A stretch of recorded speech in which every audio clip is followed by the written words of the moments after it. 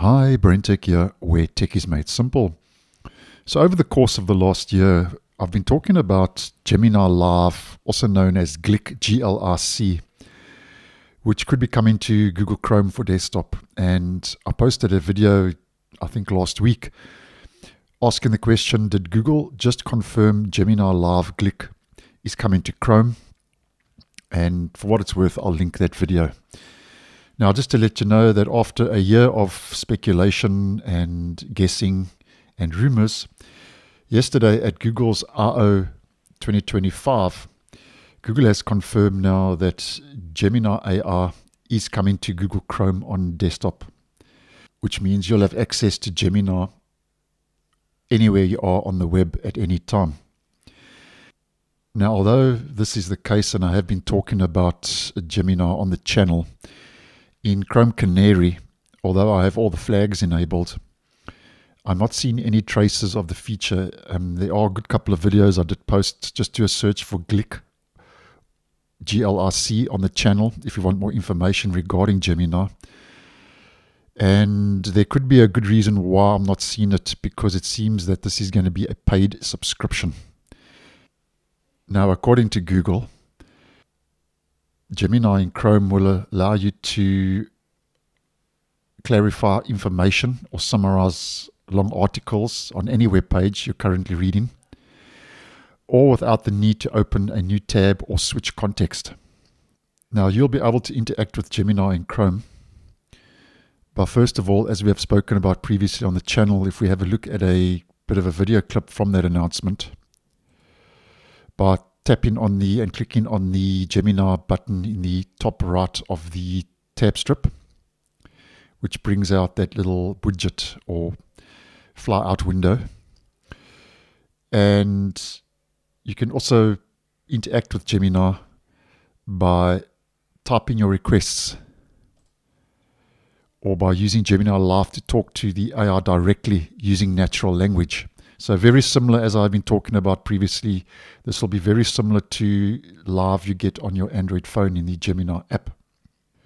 So according to Google, you'll be able to ask it for help with various tasks like summarizing a web page, explaining a topic, giving you relevant answers, modifying a recipe to suit your needs, and so on. That's just a couple of examples they've given from this announcement. But it can do a lot more and Gemini and Chrome can be used to manage your tabs.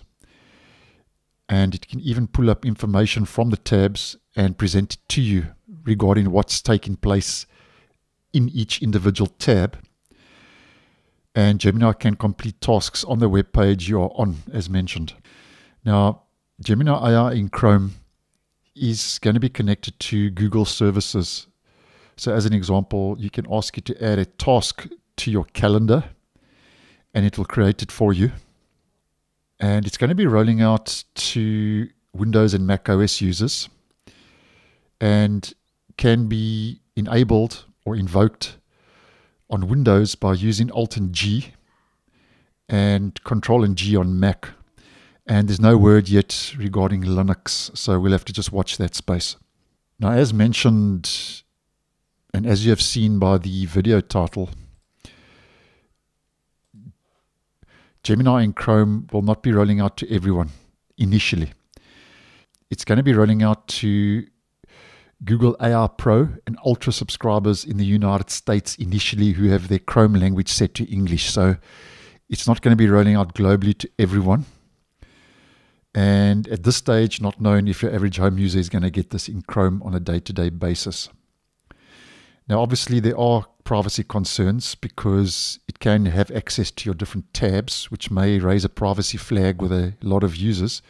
But according to the announcement at I/O 2025, Google says that, and I'm quoting, Gemini in Chrome activates only when you choose to use it via clicking on the Gemini icon, as mentioned, or the keyboard shortcut you set up. Alt and G as mentioned on Windows and Control and G on Mac. So I must be honest, I did think that this would roll out to everyone, but not to be.